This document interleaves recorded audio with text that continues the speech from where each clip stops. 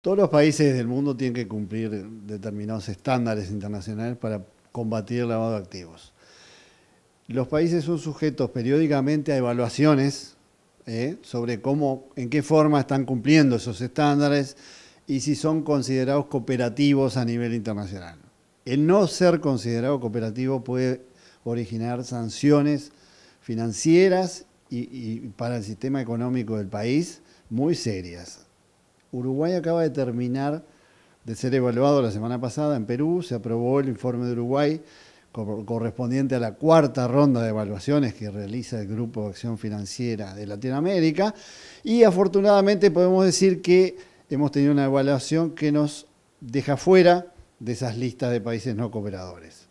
El informe reconoce todos los avances de Uruguay en la materia, hemos aprobado leyes, reglamentos, importantes que han modificado el, digamos, el entorno legal uruguayo, fortaleciendo el combate, y nos marca algunas tareas en cuanto a efectividad para el futuro que deberemos encarar, o sea, deberá encarar el, el país a efectos de obtener mayor eficiencia en la materia. Pero recalco, ha sido un muy buen ejercicio. Nosotros hace cinco años que estamos trabajando, preparando esta evaluación y estamos muy satisfechos por los resultados conseguidos. ¿Puede destacar las principales leyes, decretos, medidas tomadas por Uruguay?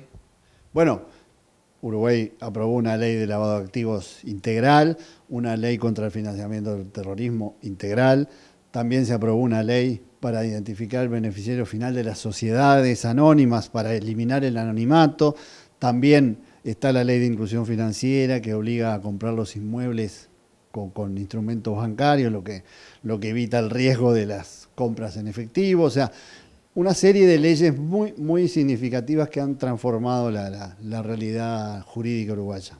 ¿Y cuáles son las tareas por delante? Bueno, la tarea por delante, lo que nos marca el informe de Gafilat es la efectividad. Es decir, ustedes tienen un marco legal eh, consolidado, actualizado y lo, lo que entendemos que deberían tener mayores resultados, por ejemplo, mayores condenas por lavado, mayores decomisos, etcétera, ¿no? Mejorar en cuanto a la obtención de resultados. Todo el marco legal ya está pronto para, ello. Lo que reconoce el informe es justamente un cambio en, la, en el país, en la estrategia país. Es una evolución hacia, hacia la transparencia. El mundo va hacia la transparencia y todas las normas internacionales apuntan a eso.